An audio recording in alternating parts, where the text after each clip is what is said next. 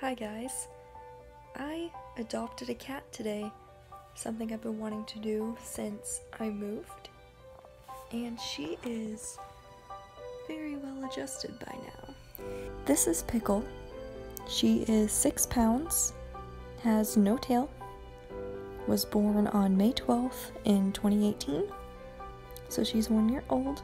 We brought her home today and she got to explore absolutely everything and get to know her surroundings. And she absolutely loves the apartment. She was so excited and just running around all over. She has eaten her food and used her water dish in the litter box and is just so well adjusted instantly and it's just so great to have her. She's, she is a little bit finicky. If she doesn't come to you, she doesn't want attention and she only wants to play unless she wants to specifically cuddle you and give you attention. I'm not sure how she behaves quite yet. I'm gonna spend my day with her tomorrow as well when I'm off work. She is very independent, but she has explored absolutely every surface she can reach, including inside of a toilet and inside of the fireplace. So I definitely have to watch out for her curiosity. So I actually didn't plan on adopting a cat today, and I certainly didn't know I would suddenly have one at home tonight. I saw Pickle online, and I thought I would really like her, and I went to the shelter today because it was my first day off of work for a while, and I just wanted to meet some cats and specifically meet her and see what her personality was like. And as you saw previously, she just came right up to me, and we had a pretty great bond right away.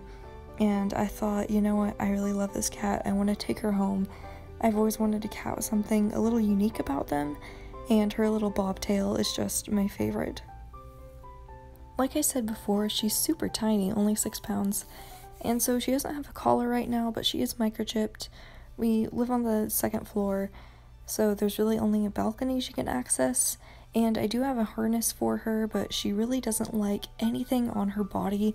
I tried to put on the collar and she just hated it and took it right off to the best of her ability and got a little stuck, so I was too worried to keep that collar on her because even at the small setting it doesn't fit, so I'll have to figure that out.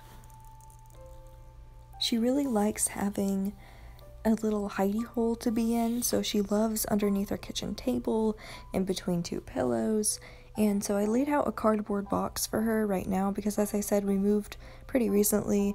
So that's all I have right now, but I do want to get her a cat tree and some forts and better places for her to explore and hide in because that's really her favorite place to be. So, yeah, this is Pickle. This is my cat. I actually might rename her. I'm not sure though. I have a list of names and I'll certainly keep you guys updated.